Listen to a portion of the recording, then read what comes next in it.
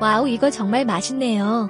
푸른 눈을 가진 이방인, 달고 구수한 막걸리를 홀짝거리더니 남자의 입에서 연신 감탄이 터져나왔다. 16년 만에 한국을 찾은 그는 독일에 있는 동안 한국 음식이 제일 그리웠다고 말했다. 1999년 KBS 2TV 남희석 이휘재의 한국이 보인다의 외국인 도보 체험. 한국 대장정의 중국인 보첸과 함께 출연해 외국인 연예인 1세대로 많은 사랑을 받은 이탈리아인 브루노 브루니 주니어 41. 순박한 한국의 농촌을 체험하며 신기해하던 20대 외국인 청년은 이제 40대의 중후한 나이가 됐다. 한국을 떠나 있는 동안 독일과 미국에서 배우이자 요식업 사업가로 활동했다는 그는 최근 SBS 예능 프로그램 불타는 청춘에 출연해 반가운 근황을 전했다. 자연스럽게 한국어를 구사하며 출연진과 어울리는 브루노의 모습은 16년 전과 변함이 없었다. 현재 브루노는 한국에서도 배우 활동을 준비 중이다. 스타뉴스 밥 한 끼 합시다는 얼마 전 서울 송파구 문정동 청춘연가에서 브루노를 만났다. 그는 외국인이지만 제2의 고향과도 같은 이곳에서 연기자로 입지를 다지고 싶다는 바람을 숨기지 않았다. 인터뷰에 이어서 한국에선 계속 활동할 계획이에요? 그럼요. 예능 쪽은 외국 분들이 굉장히 많아졌어요. 하지만 배우로선 한국 사람처럼 인정받고 활동하는 분들이 거의 없는 것 같아요. 한국말을 잘 못하기 때문도 있었겠고, 드라마가 주로 한국적인 얘기를 많이 하다 보니까 그랬던 것도 있겠죠? 그래도 이제 시대가 많이 변했으니까 한국에서 외국인도 제대로 연기할 기회가 생겼으면 좋겠어요. 드라마 속에서도 외국 사람이 한국에서 살고 있다는 자체가 이상하지 않다는 걸 보여주고 싶어요.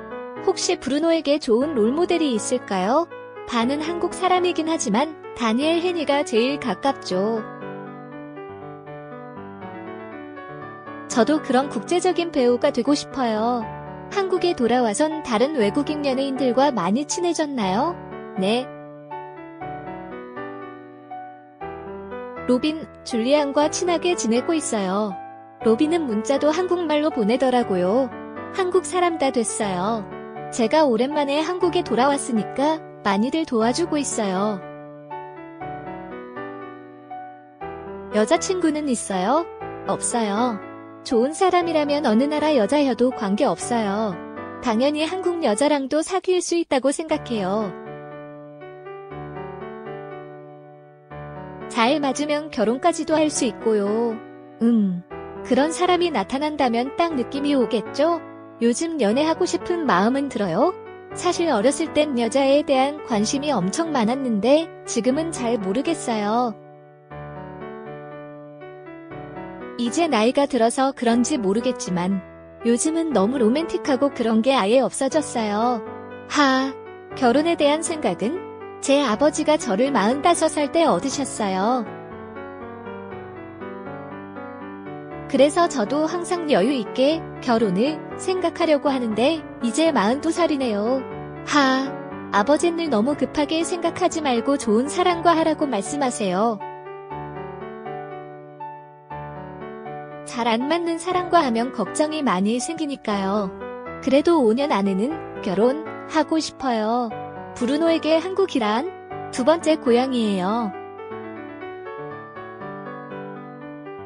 20년 가까이 한국에 없었지만 희한하게 어떤 정이 들어서 그런지 모르겠는데 한국을 떠나서도 한국 친구를 계속 사귀게 됐고 계속 이렇게 인연이 됐던 것 같아요. 과거 소속 사 사기로 배신을 당했던 경험 때문에 한국을 떠났다고 했는데 이제 그런 아픈 기억은 많이 지워졌나요? 네. 어렸을 때는 한국에서 안 좋은 경험도 했지만 그걸 통해 배우는 것도 있으니까요. 당시엔 안 좋은 사람에게 당했다는 기분이 들었죠. 그런데 안 좋은 사람들은 한국뿐 아니라 독일, 이탈리아 어디 가나 있어요. 오히려 당시 경험으로 좀 더 조심스럽게 살아야 한다는 걸 배우게 됐죠. 한국에 대한 기분 나쁜 감정은 없어요. 이젠 시간이 많이 지났기 때문에 그런 건 다 잊었어요. 마지막으로 브루노를 기다렸던 팬들, 시청자들에게 한마디 한국을 떠난 뒤 오랜 시간이 지났는데 기억을 해주셔서 너무 감사한 마음이에요.